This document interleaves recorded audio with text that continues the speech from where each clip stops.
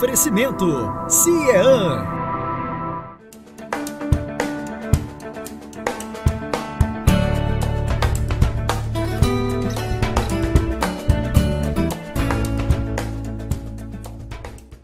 Olá, amigos. Este é mais um programa Ponto de Equilíbrio, parceria entre o Jornal do Comércio e o Amazon Sat. No programa de hoje, nós viemos até a sétima edição da Feira Internacional da Amazônia, onde vamos conversar com personalidades do setor produtivo local e apresentar as grandes novidades de todas as indústrias aqui instaladas.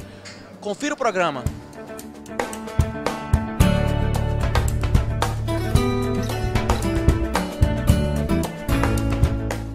Aqui ao meu lado, o nosso grande anfitrião, Tomás Nogueira, superintendente da Zona Franca de Manaus. Tomás, grande prazer em tê-lo de volta aqui no nosso programa Ponto de Equilíbrio, dessa vez na sua casa, é, que nesse momento é a Feira Internacional da Amazônia. Qual a tua expectativa para esse grande evento? Marcelo, satisfação estar aqui de novo. Que tive a honra e a oportunidade de ser um dos seus primeiros O convidados. segundo convidado do programa Ponto de Equilíbrio. Você está vendo? É, como eu tenho uma Muita boa honra. memória. Ah, mas é uma satisfação. Eu acho que nós é, superamos é, enormes dificuldades para estar aqui. Eu tenho de reconhecer o trabalho da nossa equipe. O meu esforço é não atrapalhar, coordenar, ajudar nisso.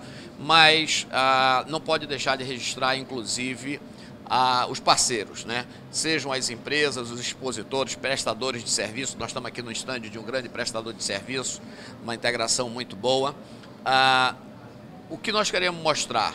Primeiro, o estágio atual, a nossa capacidade, a pujança do nosso polo industrial, trazer para cá também, para interlocução, outros in- investidores, aumentar essa, essa rede de, de interlocução uma oportunidade para mostrar qual é a nossa realidade nesse polo industrial. Eu acho que essa é uma tarefa muito importante, vencer esse desconhecimento.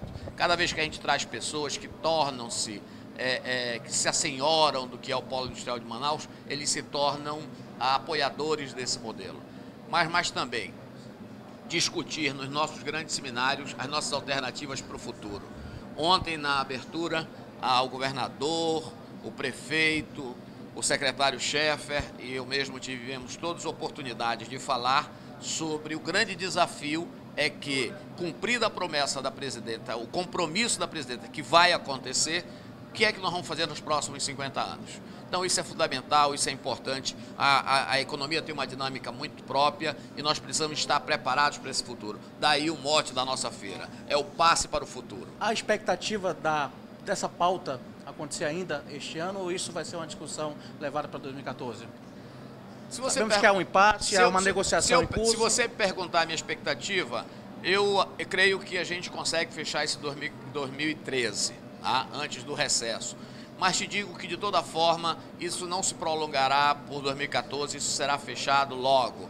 Ah, o compromisso é claro, a, a, a presidenta reiterou esse aspecto, e isso nos dá, umas nos dá uma tranquilidade ah, no sentido do planejamento. Aliás, isso nos cria uma responsabilidade no sentido da reflexão dessa evolução. Nós chegamos a um bom ponto, nós chegamos a um bom termo, mas nós não podemos dormir e, e- e se acomodar nesse estágio. É preciso que a gente acompanhe a evolução. É preciso que a gente amplie o que temos, mas também que a gente busque a diversificação da nossa economia tá certo? considerando a nossa realidade ah, geográfica, conhe- considerando a biodiversidade, esses aspectos todos. Nós aprendemos com a diversidade ao longo dos, dos anos.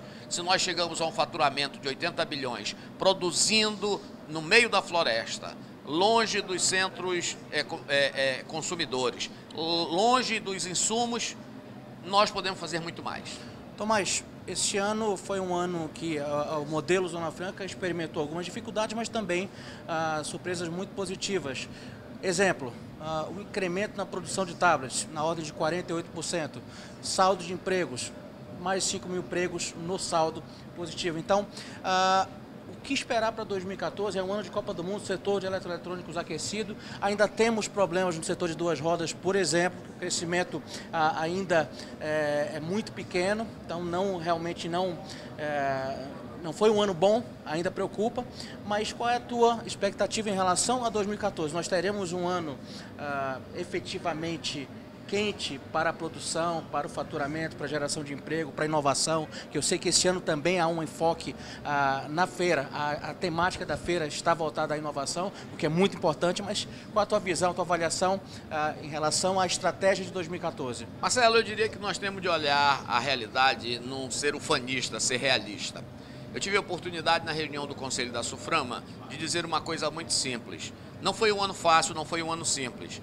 Mas se nós retirarmos os números em termos de faturamento e emprego, as dificuldades do polo de duas rodas, nós vamos ter crescimento expressivo, com mais de dois dígitos em todos os outros setores.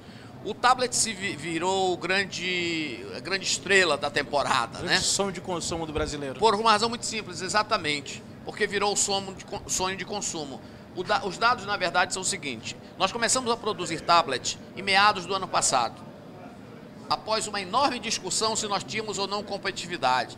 Nós participamos dessa discussão ainda na Secretaria de Fazenda, mostramos que tínhamos competitividade, o governo se mobilizou, nós ajustamos a legislação, ganhamos mais algumas vantagens no PIS e COFINS.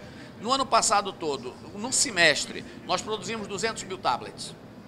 Esse ano nós vamos produzir em torno de 3 milhões de tablets. 3 milhões de tablets. E isso, esse número é crescendo. Nós temos sim competitividade informática. Nós estamos crescendo em outros segmentos, há outros produtos. É nesse momento, é nesse momento e não em outro, antes que nós tenhamos problemas, que nós temos de buscar essa diversificação. Então é por isso que a gente está discutindo a inovação. É por isso que nós colocamos ah, alguns seminários aqui, como o seminário de design, no esforço de nós irmos além da manufatura, do desenvolvimento de produtos da, da, dessa expansão das nossas possibilidades. Eu estou confiante. Tivemos hoje, durante dois dias, a participação intensa do secretário Ricardo Schaeffer, a, conhecendo a nossa realidade, discutindo, a, cobrando, fundamentalmente, cobrando o encaminhamento das soluções. Eu creio que nós vamos chegar no curto prazo na questão do CBA. Nós vamos resolver, inclusive, as questões administrativas da SUFRAMA. É uma cobrança que nos, nos apoia, esse é o fato e eu acho que nós vivemos um bom momento. Superintendente Tomás Nogueira, muito obrigado pela tua participação. Parabéns a você e a toda a equipe da Suframa por mais essa belíssima edição da Feira Internacional da Amazônia. Os estantes estão é, muito criativos, muito ricos, muito bonitos e eu tenho certeza que a melhor propaganda do nosso modelo está sendo feita nesse evento. Eu acabei de receber alguns representantes do Instituto Fraunhofer da Alemanha e também ah, anteriormente o secretário da Embaixada Coreana, que era a primeira vez que visitava Manaus. As palavras de ambos são num sentido. É impressionante. Nenhum deles esperava encontrar o que nós temos aqui. Ah, o sucesso dessa feira é da equipe, mas é também um sucesso de todos os nossos parceiros que se empenharam, que estão aqui presentes, que investiram para mostrar essa realidade. Uma vez mais, obrigado pelo espaço, sucesso. Muito obrigado.